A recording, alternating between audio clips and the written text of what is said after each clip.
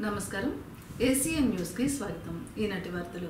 Ravi అస్తమించని British సామ్రాజ్యాన్ని ఎదిరించి పోరాడిన గొప్ప యోధుడు అల్లూరి సీతారామరాజు. పద్దెనిమిది వందల తొంభై ఏడులో జన్మించారు. పంతొమ్మిది వందల ఇరవై నాలుగులో బ్రిటిష్ పోలీసుల చేత కాల్చివేయబడ్డారు. బతికింది ఇరవై ఏడు సంవత్సరాలు మాత్రమే కానీ వంద సంవత్సరాల పైగా చరిత్రలో స్థానం సంపాదించుకున్నారు. నేడు ఆ వీరుడు వర్ధంతి.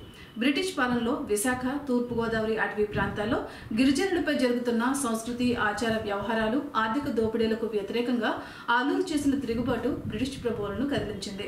ముఖ్యంగా చింతపల్లి కృషిదేవిపేట రాజవమ్మంగి అడ్డతీగల చోడవరం పోలీస్ స్టేషన్లు మీద దాడి చేసి ఆయుధాలు కొల్లగట్టారు.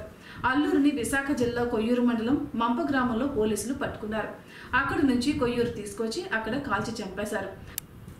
అల్లూరి సీతారామరాజు సమాధి కృషాదేవిపేటలో ఉంది. నాడు గిరిజనుల హక్కుల పరిరక్షణ కోసం అల్లూరి సీతారామరాజు ప్రారంభించిన పోరాటం జాతీయ ఉద్యమానికి ఊపిరిపోసింది తమ హక్కులను కాపాడుకోవడంలో ప్రతి ఒక్కరికి అల్లూరి పోరాటం స్ఫూర్తి కావాలి. ఏలూరు కార్పొరేషన్ ఎన్నికల కౌంటింగ్ ఉత్కంఠతకు తెరపడింది. రాష్ట్ర హైకోర్టు శుక్రవారం ఎన్నికల కౌంటింగ్కు అనుమతి ఇస్తూ తీర్పునిచ్చింది. కోవిడ్ నిబంధనలు పాటిస్తూ కౌంటింగ్ ప్రక్రియ చేపట్టాలని కోర్టు సూచించింది. కాగా రాష్ట్ర ఎన్నికల సంఘం ఓట్ల లెక్కింపు తేదీలను ప్రకటించాల్సి ఉంది. ఇదిలో ఉండగా మార్చి పదవ తేదీన కార్పొరేషన్ ఎన్నికలు జరిగాయి.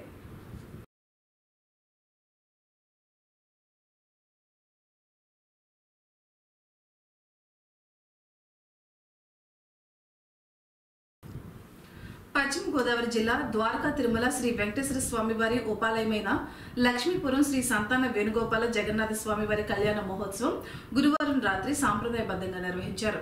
తొలుత శ్రీ స్వామి అమ్మవార్ల ఉత్సవ మూర్తులను ఆలయ ముఖమండపంలో కళ్యాణ మూర్తులుగా కొలువు తీర్చారు. స్వామి అమ్మవార్లను ప్రత్యేకంగా అలంకరించి కళ్యాణ క్రతువును పండితులు నిర్వహించారు. మేళతాళాలు మంగళ వాయిద్యాలు నడుమ ఆలయ పండితులు ఈ వేడుకను ఏకాంతంగా నిర్వహించారు. దేవస్థానం కార్యనిర్వహణాధికారి జీవి సుబ్బారెడ్డి పాల్గొని ప్రత్యేక పూజలు చేశారు.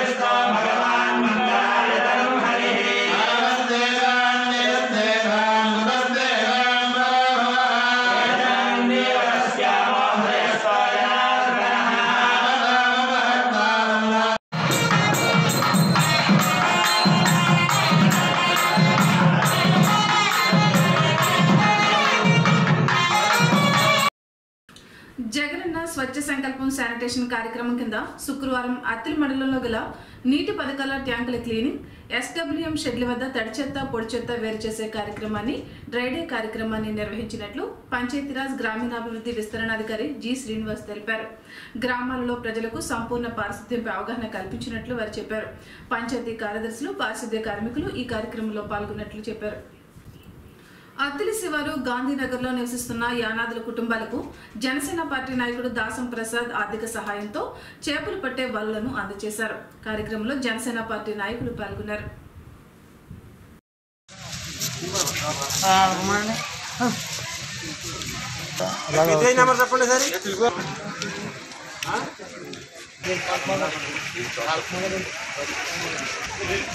చెప్పండి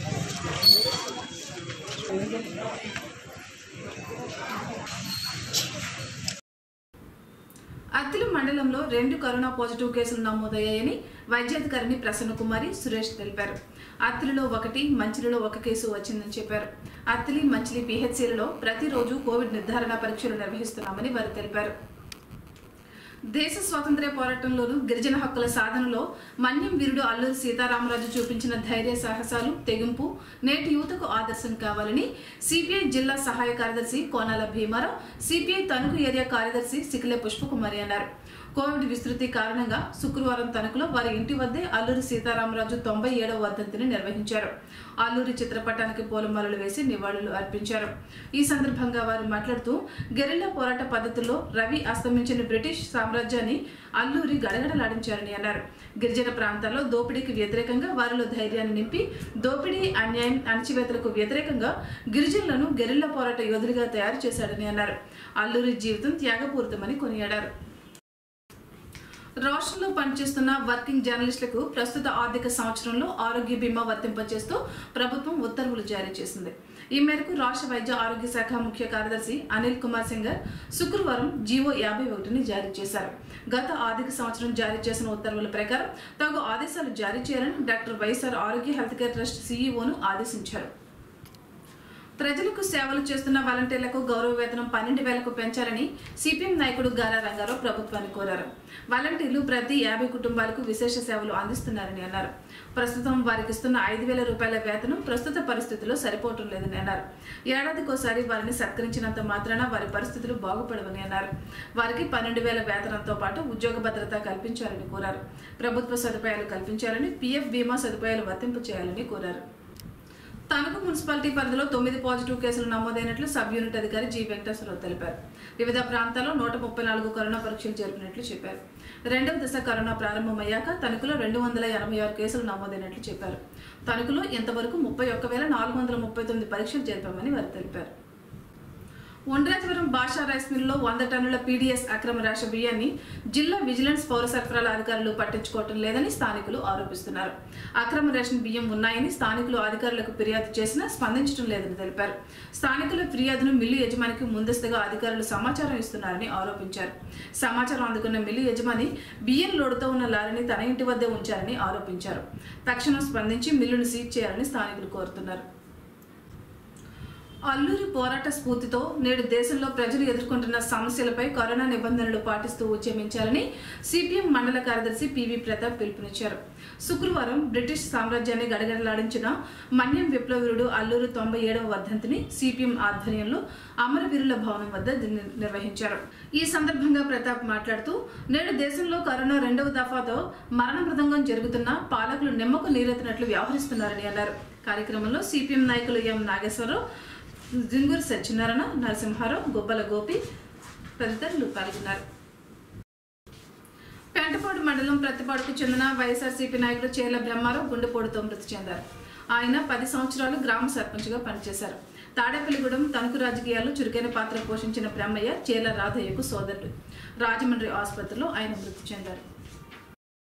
ఇప్పుడు ఒక చిన్న బ్రేక్.